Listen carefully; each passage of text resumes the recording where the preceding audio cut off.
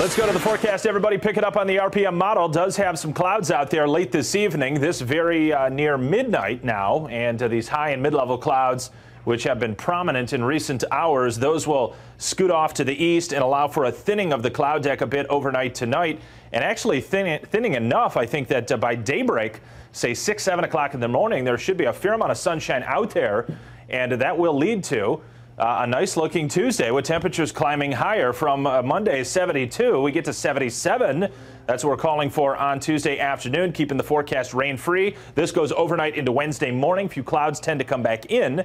But I think overall on Wednesday, we should shake out partly sunny as well as the latest modeling keeps most of the shower activity over towards the Detroit area. That's not to say there couldn't be uh, a spotty or stray shower locally in Lansing, but I think the odds of that coming substantially down versus what it looked like yesterday. So if we get through Wednesday and Thursday, uh, dry, I tell you what, folks, Friday, Saturday, Sunday, Monday, no rainfall in sight.